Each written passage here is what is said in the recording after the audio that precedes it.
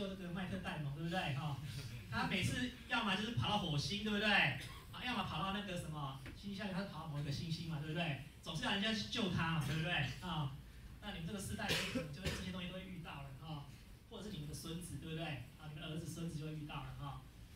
好，那所以呢，哈，前面呢这是一些基本的基本的一些发展啊，哈。那我们后面来看一下哈，所以物理学的发展呢，一个很重要的东西就是说，我们怎么把你观察到的这个世界啊，用概念、用模型、用理论来把它建构起来啊。然后呢，这些东西呢，最重要的点是概念跟模型啊。概念的话是今天大家都有一个共识，你说这个东西叫重力，你也说这个东西叫重力，所以我们两个沟通就没有阻碍了嘛，对不对？因为我们有相同的概念，对不对啊？然后呢，用这个概念我们可以去建构一个模型啊，比如说我们的模型就是重力随着距离的平方啊，距呃反比平方啊成正比，那这样子呢就是你的所谓物理模型啊。那这个模型呢就发展出重力的相关理论，啊，最后发现哦，其实。它是 R 平方的 G N，啊，这就是它的这个理论，啊，那这个整个发展的概念是这样子，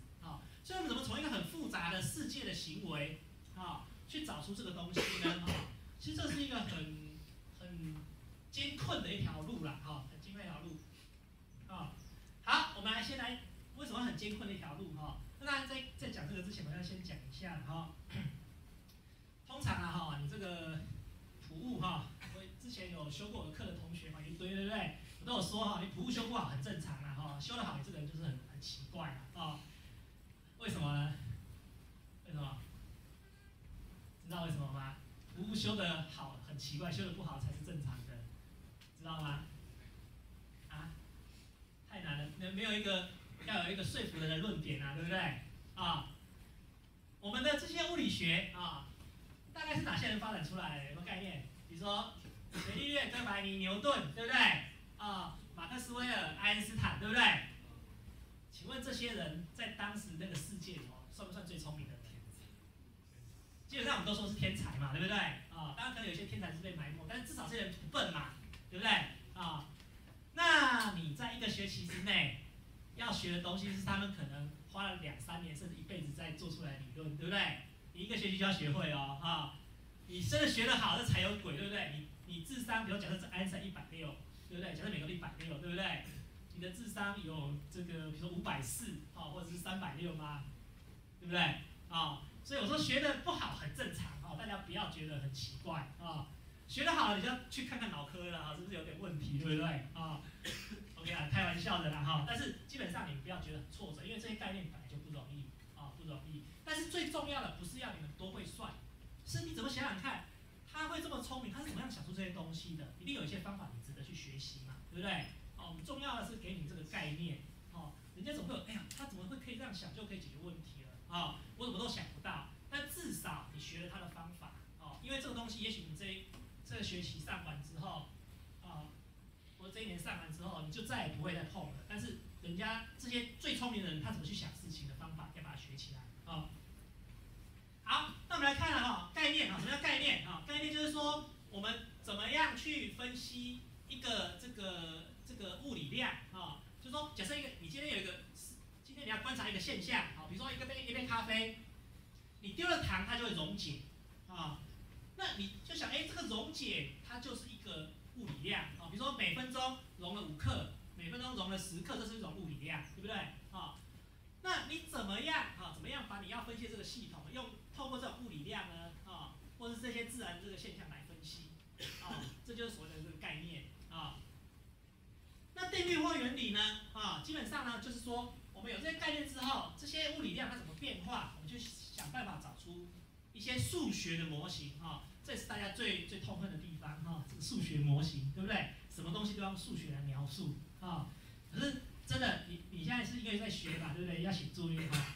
真的，你到外面去，你发现很多事情还真的得用数学的方法来解问题啊。所以数学模型只是提早让你们去练习，习惯说有一种有效的科学方法来帮助你解决事情啊。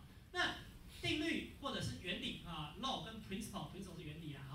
那基本上呢是透过 mathematical relation 呃 relationship，就是数学的关系啊来建立的啊。那这种就称之为定律啊。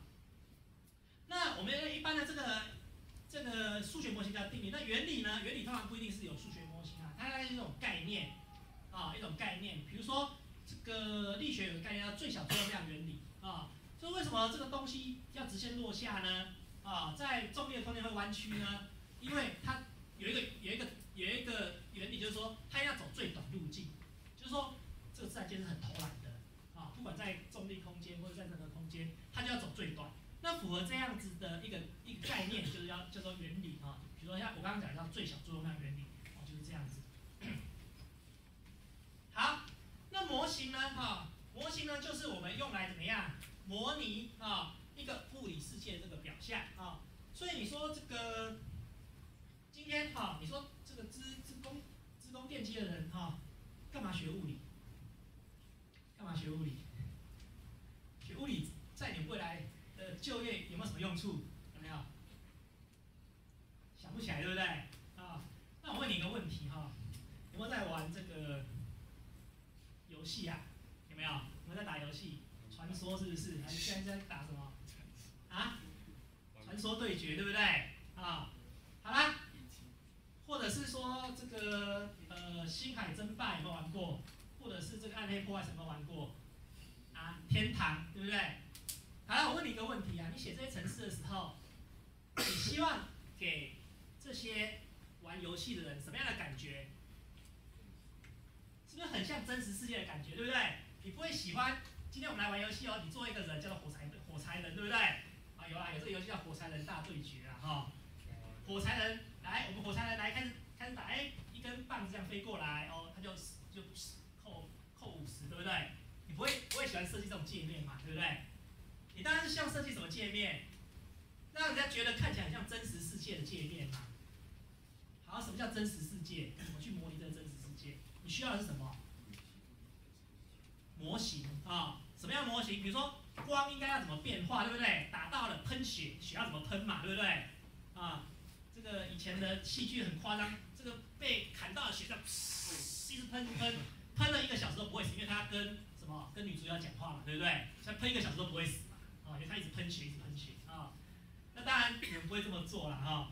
你怎么喷血？或者是我今天丢一个球，射一个弓箭，甚至我放电，对不对？电都还要模拟那个闪电有分支的样子嘛，对不对？你需要的是一个数学模型。这个数学模型可以用真，可以描述真实世界的样子，你才用程式去表达嘛，对不对？啊，所以呢，你需要这种模型啊。所以你学普物，不是你现在学过，最重要是你要记住有这个概念，就是说，哎。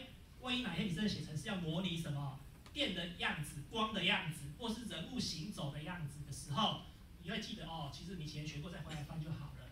哦，所以我没有要你们用很高深的课本，让你们有概念是最重要的啊。好，这样有没有问题？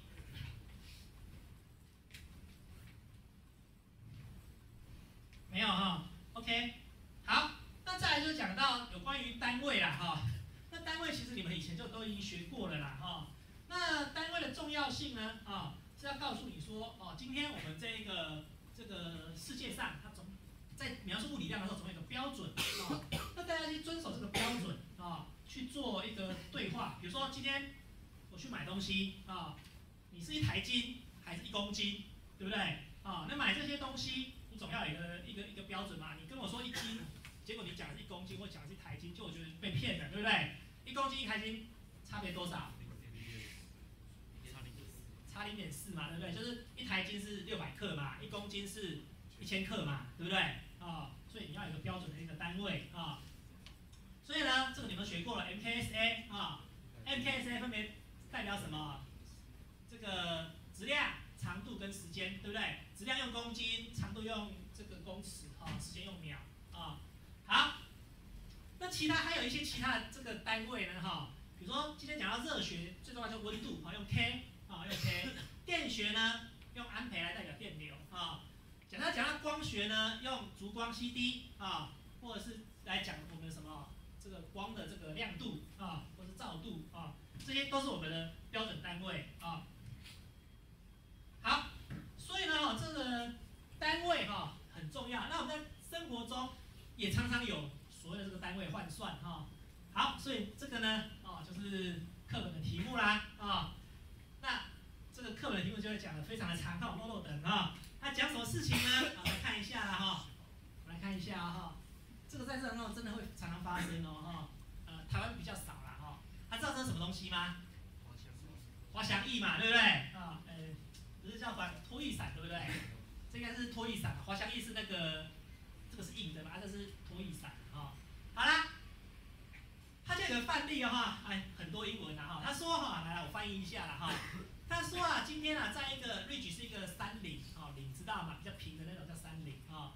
在一个岭山岭上面呢，我现在风速量测量到的风速呢是每小时二十五公二十五公里啊。这个我们也蛮常蛮常听到的嘛，对不对？现在的风速是多少公里？每小时多少公里嘛，对不对？啊，好。他说啊哈，在这山顶上，如果你要玩这个。拖翼伞的话，啊，他建议你说啊，哈，风速要低于怎么样？啊，就是这个，呃，拖翼伞啊，glide 是滑翔的意思啦，啊，他建议你说每小每每公每每秒钟的风速要小于七公尺，啊，好，那么问题就来了，啊，气象预报说是每小时二十五公里，对不对？啊，你现在说拖翼伞能够玩的风速是每秒钟七公尺，对不对？所以你就要做单位的换算嘛，哈。